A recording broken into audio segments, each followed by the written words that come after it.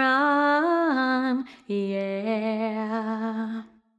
One happy birthday dot com.